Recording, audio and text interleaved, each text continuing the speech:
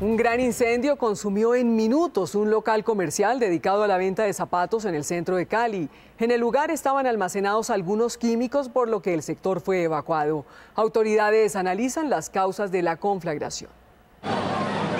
Cuando las llamas empezaron a salir por los ventanales y la puerta principal del local comercial dedicado a la elaboración y venta de calzado, los vecinos alertaron a los bomberos, quienes llegaron al lugar. El fuego inició en la parte baja y se propagó por toda la residencia. El temor de una posible explosión, porque en el interior había químicos y otros elementos inflamables, hizo que las autoridades evacuaran la zona. La gente corría tratando de salir del sector. Acá hay muchas peleterías, ellos necesitan trabajar, sí es verdad, pero esto aquí prende una bomba de tiempo.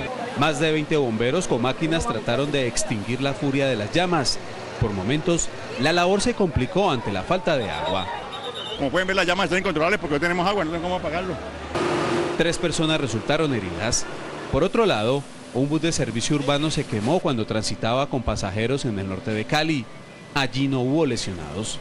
En ambos casos se investigan las causas.